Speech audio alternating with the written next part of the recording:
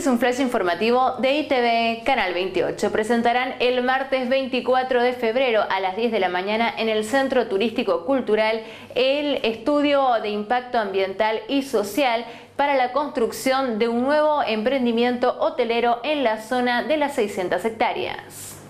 Bueno, esto es un proyecto que toma la empresa Nubac SEA de Buenos Aires. Eh, la empresa hotelera que da la idea y el emprendimiento es Joriaín, en primera instancia, sí, sí, es una primera y seguramente va a ser una de las primeras líneas que va a estar acá. Eh, categoría 5 estrellas es la pretensión.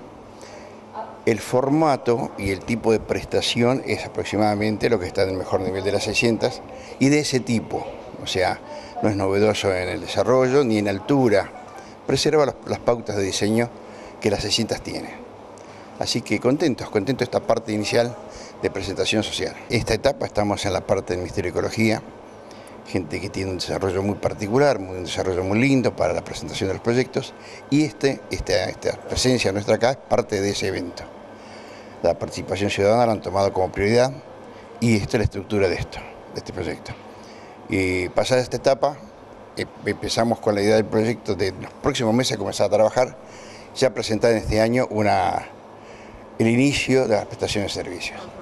Así que mucho entusiasmo y por suerte están los inversores que desean apostar a Iguazú como se está presentando actualmente. ¿Cómo ven eh, el destino? Iguazú, con, buenos ojos. Bueno, hablábamos recién fuera del micrófono de que es el destino de todo el año. Iguazú, buena ocupación hotelera en esta gran parte del año.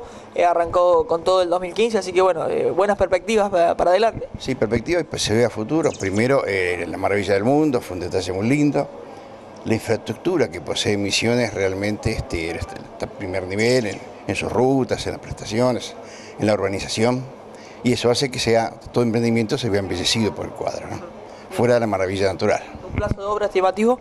Y dos años, dos años es el tiempo para la inversión completa.